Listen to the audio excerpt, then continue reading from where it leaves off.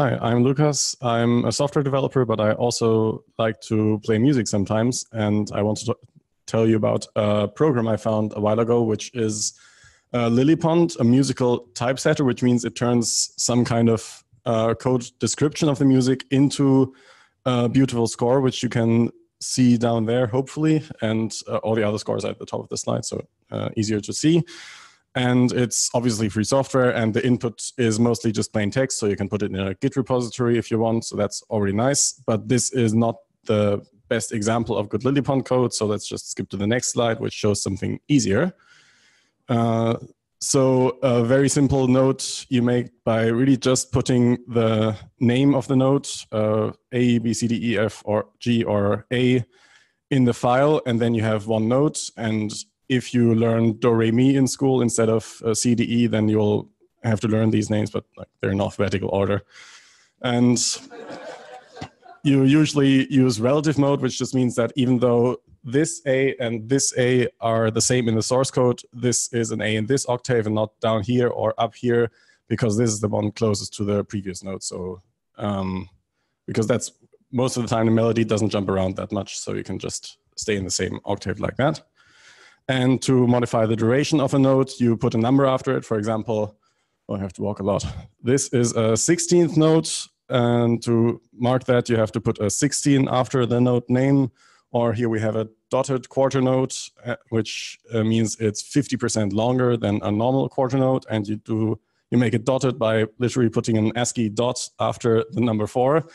So there's kind of some cute ASCII art in there. Usually doesn't get out of control too much. It's just kind of nice if you do need to change the octave, if the relative mode isn't enough for you, um, so exa for example here, uh, the C that would be closest to the G is the one up here, and we actually want the C down here. Uh, so to go down by one octave, we put a comma after the note name, and to jump back up to this G afterwards, we put an apostrophe, which kind of looks like a comma, except at the top of the line instead of the bottom. So it's like it's not uh, prose text. Forget what these characters usually mean. Just uh, uh, see what they look like, I guess. And that's the input syntax. And if you need to uh, modify the pitch a bit more, so in music you can have uh, uh, change the pitch by a semitone. So for example, between an E and a D, there would be, there's a note called either E flat or D sharp uh, which you write by putting this uh, flat sign before the note, and you write that in Lilypond by, instead of E, writing es. And to make it a sharp note, you would write uh, Fis instead of F. So that is, I think in the Lilypond documentation, they saw, say it's the Dutch notation. It also happens to be the German notation. You can configure it to uh, also accept literally F, uh, E sharp or F flat no, that was the wrong way around. Um, e flat or F sharp in the input file, that just means no one else will be, uh, well, they will be able to read your file, but they will be a bit confused because it's not conventional. So perhaps stick to es and FIS instead. But what's important here is that, um, so here, for example, this is actually a FIS, but it doesn't have a sharp sign directly in front of the note because that's actually part of the key signature over here.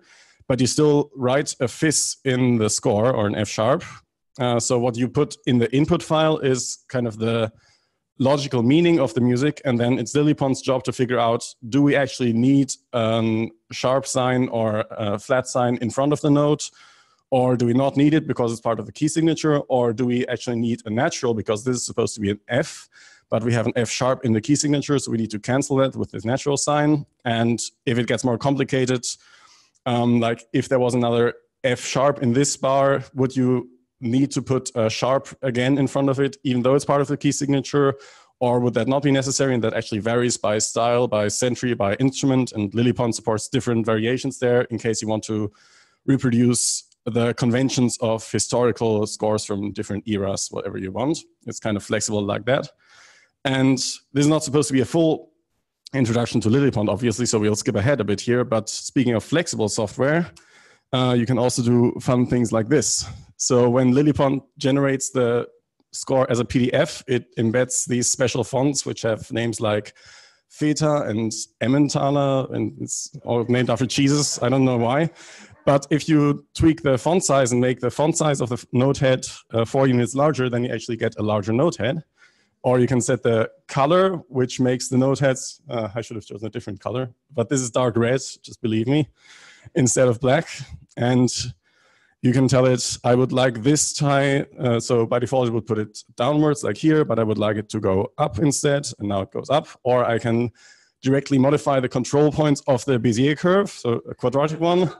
And I'm leaving the first one and the last one as they are so that the, it still starts and ends at the right point. But uh, adding these offsets to the points in between, so it makes this kind of loop, looping shape.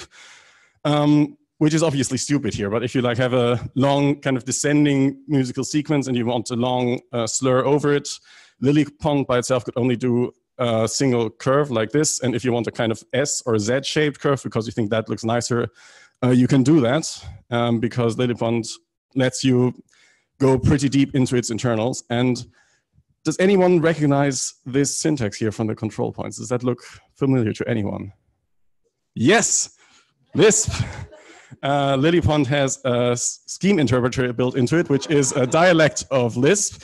And so with this hash sign here, it actually switches the parser into scheme mode. And we can say that the color of the stems should be defined not by some constant, but instead by this uh, function, which takes a graphical object and gets its direction property. And if that is up, then we return red, and otherwise we return blue.